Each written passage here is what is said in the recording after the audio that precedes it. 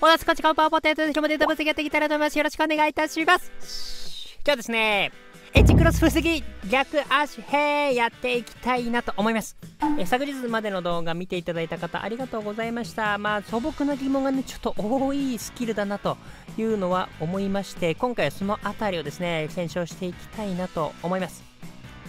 で具体的にはどんなものがあるかというですね逆足はエッジクロスできるのかとかあとはコーナーキックだとどうなるのかとかね。あとはアウトスピンだとどうなるんだとか。フライパスステータスが高いとどうなるのかとかね。そういったところもまとめていきたかったんですけども残業がマストの仕事をちょっとしておりましてちょっと物理的にどうしても無理だったんであの一つ一つ一つ一つこまめに出していきたいなと思います。もしかしたら1日2本とか上がるかもしれないんですが一本一本は短めになりってますのでよろしくお願いします。今回逆足でエッジクロスができるのかそこをやっていきたいなと思います。まあそもそもなんでこれが出てきたかというとですねこれ見てほしいんですがシュートスキルの注意事項のところにですねこんなことが書いてあるんですね。逆足精度が最高の場合に除き利き足でキックする場合のみスキルが発動しますよという形でですね逆足で最高じゃない場合は発動しないんですね。エッジクロスのもこれ起きてんじゃね？というところでそこだけを今回調べていきたいなと思います。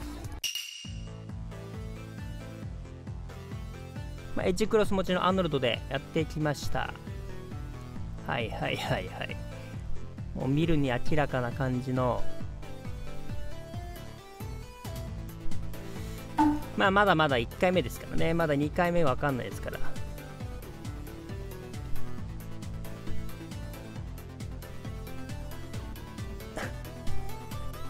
はいということでいただきました。モーションがまるで違いますね。これ昨日までの動画見ていただいた方はわかるかなと思いますが右で蹴るとこんな感じね。もう左の方はもうなんかもうめっちゃバックスピンかけますね。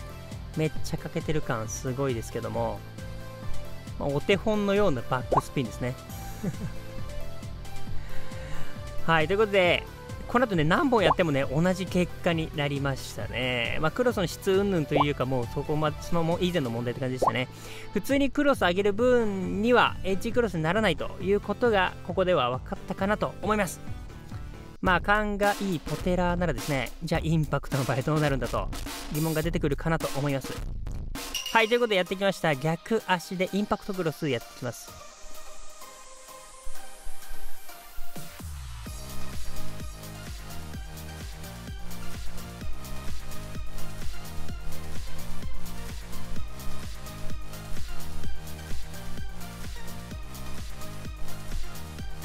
はいはい見てみます。まずは角度から見てみましょうか。まあ横寄りの斜め回転になってるの分かりますかね。右で蹴ったアーノルドを左右反転してみました。回転の角度が違うことわかる？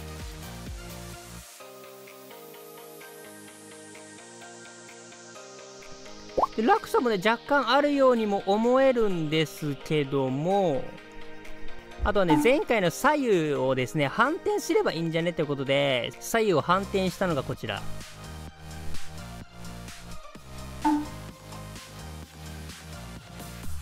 はいはいはい。やっぱ前回の方が落差すごいかな。明らかにこう見ると違いますかね。はい、ということで、結論。逆足エッジクロスは、疑似エッジクロスが限界とします。はいいやまあそうですね。疑似エッジクロスに関してはですね前回の動画見ていただければなと思うんですけども、まあ、逆足だとかなり、まあ、それぐらいが限界だったかなと思います。なので、え、ー、と冒頭に話した逆足精度が最高の場合除き発動しませんよというところ。ここですね。まさに発動していない状態になってるのかなと思いますね。で今回のショータイムの3人はですねアーノルドが一番若干精度高いのでアーノルドでダメということはですねまあ他にもダメだという推測ができるかなと思います。で逆にですね逆足の疑似エッジクロスに関してはいけるんですね。